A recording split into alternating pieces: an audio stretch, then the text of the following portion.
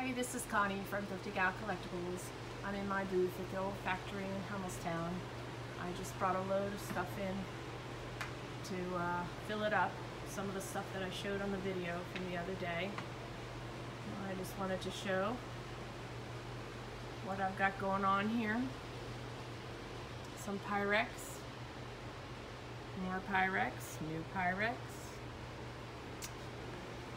a lightning glider sled with some skates. And a table that my husband made. I don't know, wood, piece of wood, I don't know where he got it, but it worked perfectly for a tabletop. And this cute child's table from a previous auction. And the chair doesn't match, but it, it goes good together. And I hope you can hear me over the fans. Here's the Libby's box and the bucket. Some manly things.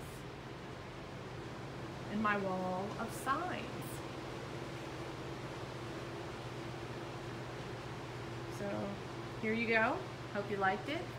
If you liked this video, please subscribe to my channel. And I'll be doing another video soon. T-Gal out.